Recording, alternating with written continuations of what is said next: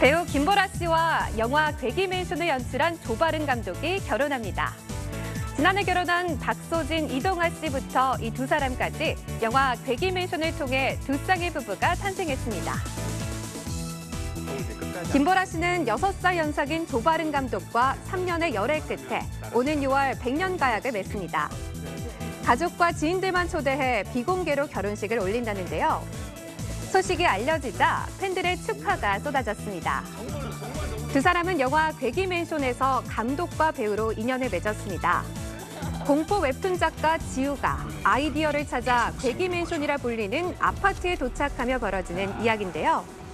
김보라 씨는 지우의 후배 다혜 역으로 출연했습니다. 앞서 극중 연인으로 호흡을 맞췄던 박소진, 이동아 씨 역시 결혼에 꼬리를 신혼생활을 보내고 있습니다.